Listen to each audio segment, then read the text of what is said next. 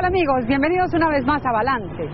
¿Saben algo? A la hora de calificarnos a nosotros los venezolanos, la gente utiliza toda clase de apelativos generosos.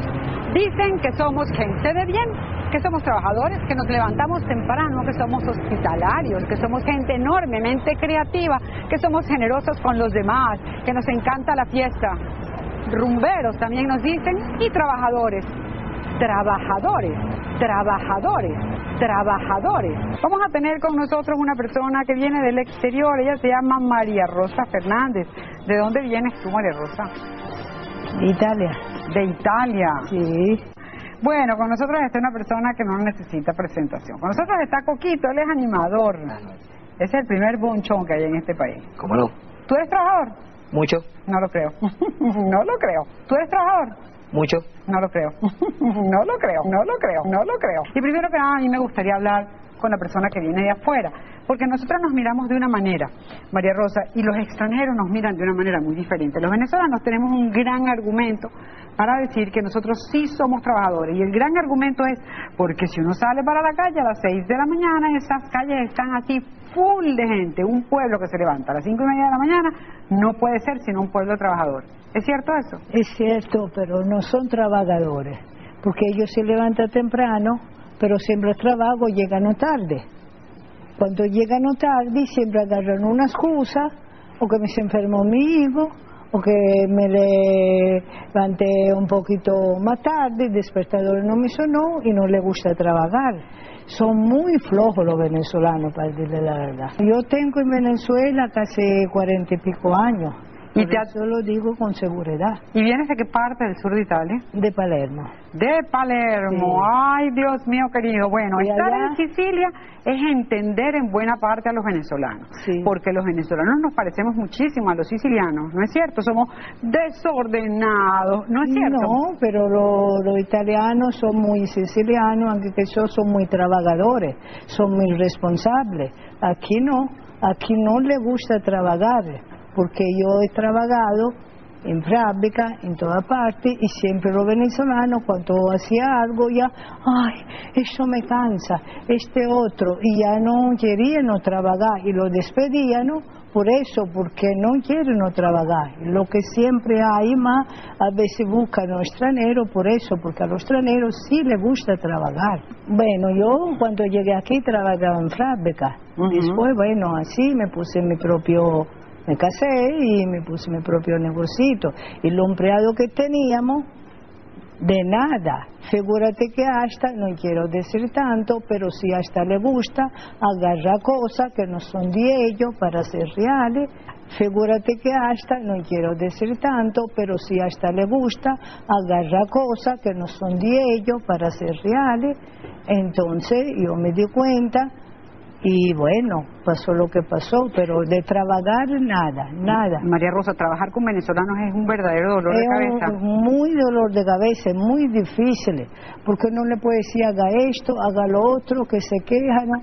que una cosa, que uno es malo, o que uno, ¿por qué? Porque los extranjeros somos muy trabajadores. Y ellos no, no les gusta trabajar. Y bueno, En tomar cerveza. en tomar cerveza, engañan, como se dice en venezolano. Llegan a la casa, borrachos, no tienen ya los bolsillos vacíos, y a la pobre mujer cuando llega quieren no que le sirve la comida porque yo he vivido con cuando llegué en familia con familia así con venezolanos y lo que le llegaba a las dos de la madrugada cualquier hora que sea querían no la comida todo emborracho y hasta maltratan mucho a las mujeres Has dicho una tercera cosa, un dardo, otro dardo más para los venezolanos. Tú acabas de decir No, que sí, no así. solamente no so- son, trabaja- no son trabajadores, además son unos grandes irresponsables, pero también maltratan a sus familias. Entonces, Sí. definitivamente los venezolanos son unos seres devaluados.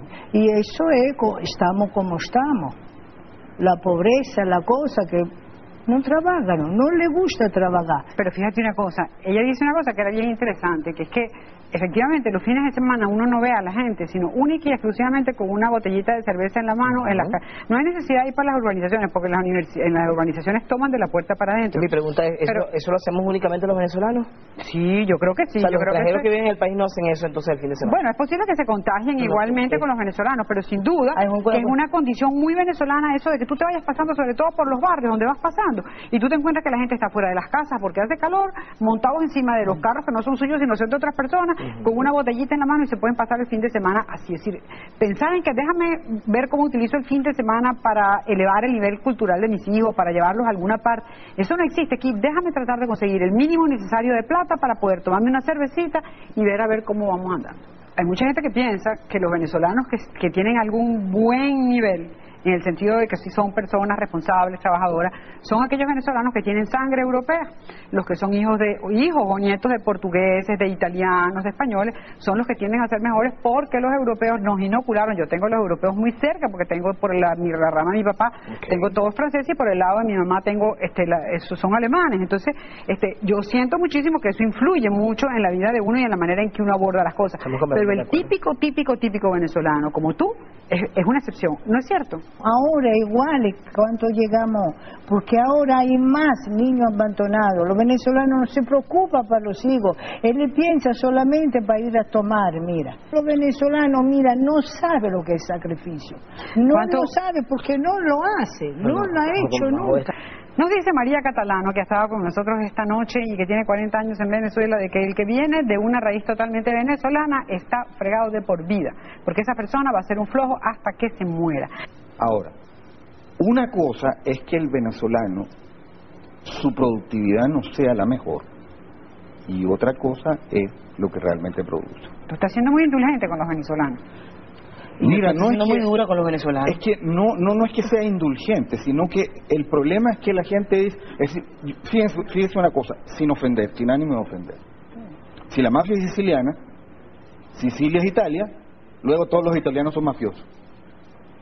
Eso es una generalización. Pero los países tienen sellos. Ahora, tú eres sociólogo y tú sabes que eh, dentro de los países hay sellos. Hay países que uno sabe que son enormemente combativos. Y hay países que uno sabe que son verdaderamente, pues, no me importistas.